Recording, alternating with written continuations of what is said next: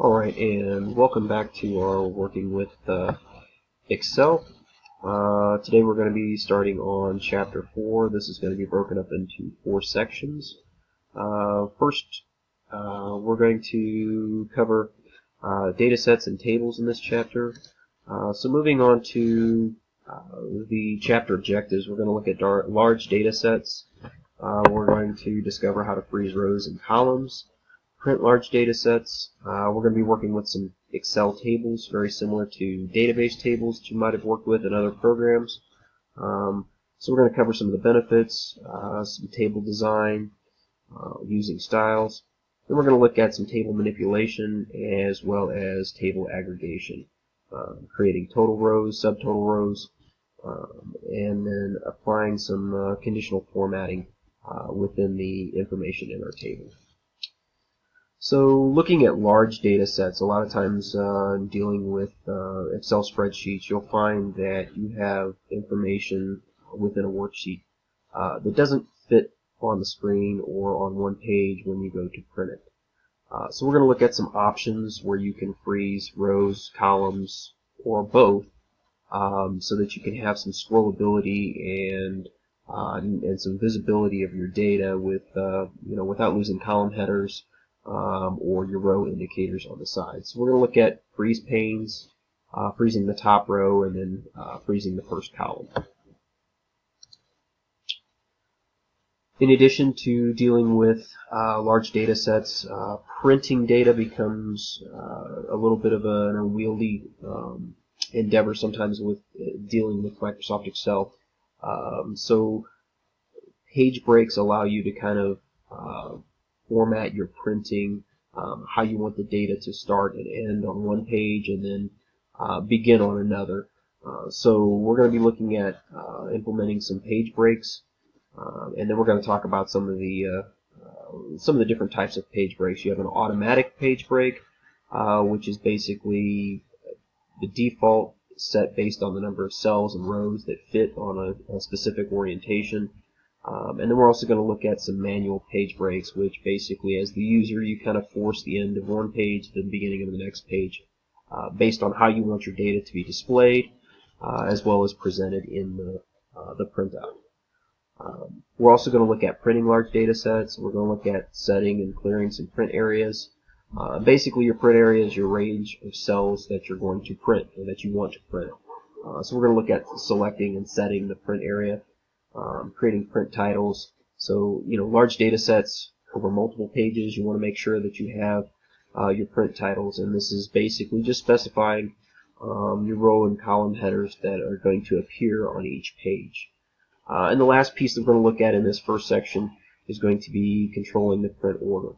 Uh, and essentially the print order is the sequence in which the pages are printed. So based on the, uh, the layout of Microsoft Excel, you'll see that um, your your sequence in default for Excel. Um, it prints the top left um, page in the worksheet, the bottom left, uh, and then it moves over to the top right and then bottom right. Uh, so we're going to look at how we can uh, can change that print order based on um, how your data is set up. Um, so while we uh, go ahead and look at our data set, I have here um, a worksheet that uh, is basically a housing uh, would be used for real real estate um, in terms of uh, houses that are sold, who the selling agent is. And if you notice, we have a series of information that scrolls well off the bottom of the page or off the screen, um, and then we have some information that goes over to to the right a little bit.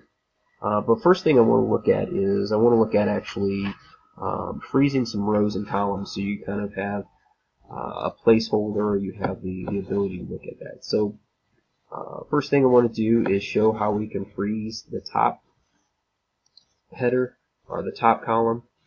Um, you would go ahead uh, and go to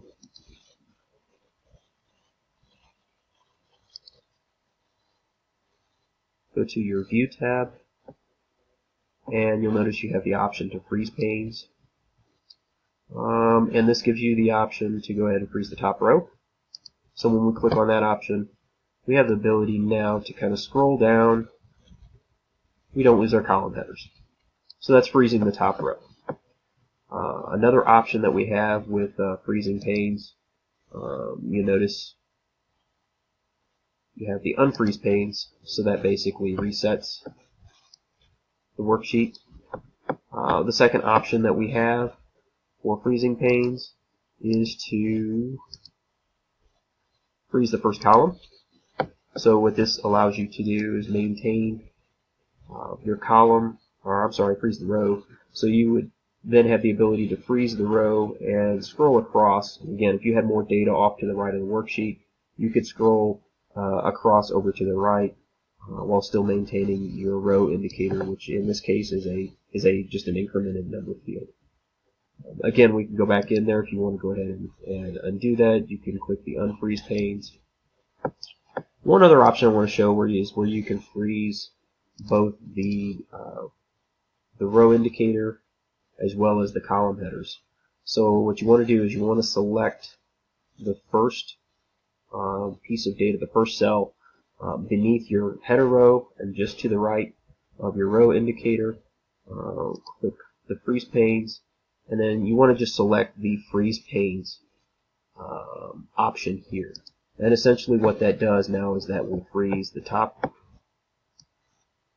column header when we scroll down and when we scroll across it keeps um, keeps our, our row indicator uh, frozen so we can scroll across and not lose track of, of which row or uh, which row we're, we're, looking at. One other thing that uh, we talked about was was page breaks, um, and uh, again, looking at Excel, um, Excel has uh, its we've mentioned default uh, page breaks, um, and those those are are set up um, to basically give a default of when uh, or where the, the data is going to finish on one page um, and, and, begin on the next. So if we go to our page layout view, um, we can go ahead and we can kind of take a look at what kind of breaks uh, we have here. We, we can insert a page break, we can remove um, a page break. Uh, so in this particular uh, specific area, what we want to do is, is we want to actually uh, change our view. We go down here. Notice at the bottom we have page layout. We have our page break preview. This is down. This is the last uh, option on the uh, status bar right before um, you can zoom in or zoom out. So when we click on that page break preview, um, you'll notice it gives you an indication uh, of how the page breaks are all set up. Um, so this in this particular instance, it's going to print the first 40 uh, rows for page one, and then move on to page two, the next 40. So those are the default based on the page layout. If we were to change our orientation from a landscape to a portrait, you'll notice now that our page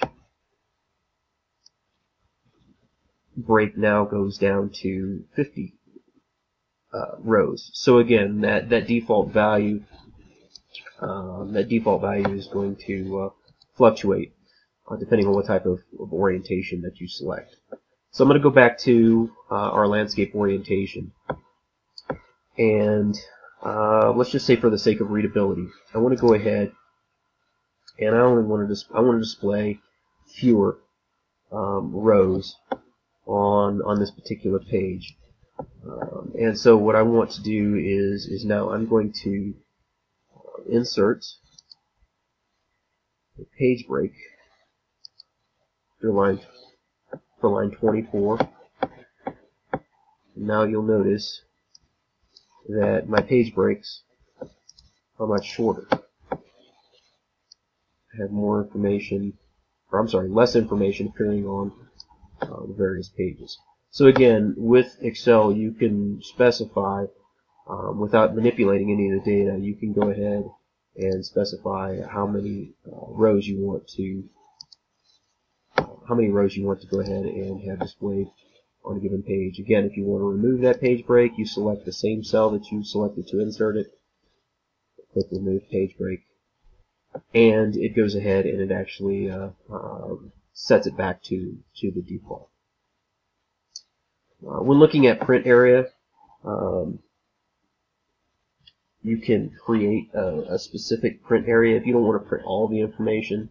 Uh, let's just say you just want to uh, print the house number or your, your row indicator number, the address, city, and selling agent. You can select that data, and let's just say we only want about the first 12 or 13.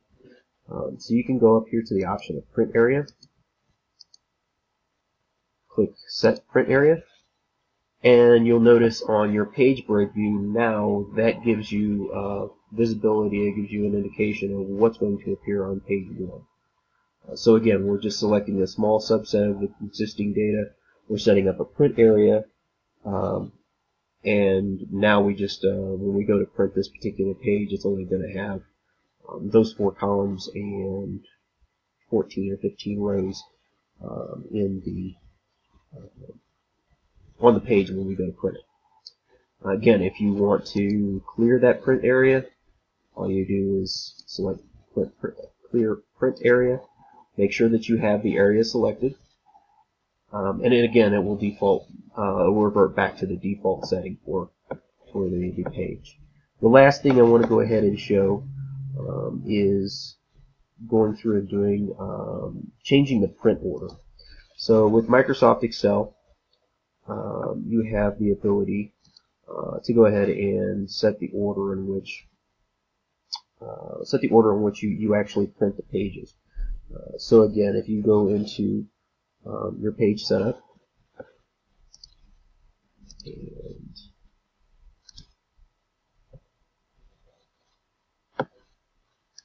we go into our page setup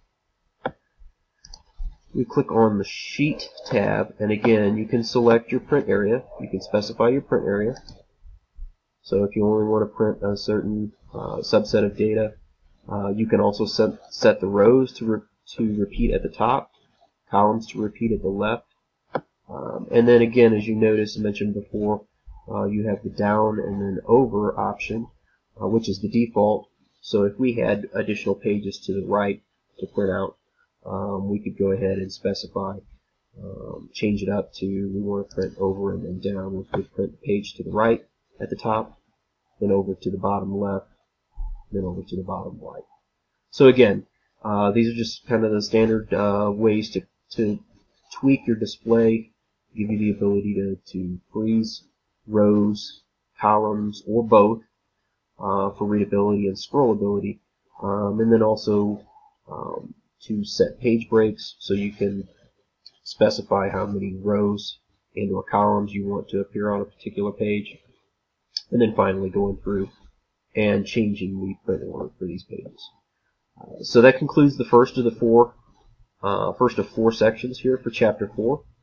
Um, and uh, we will continue on with our next video, uh, which will focus on uh, going over uh, tables, dealing with tables in Excel.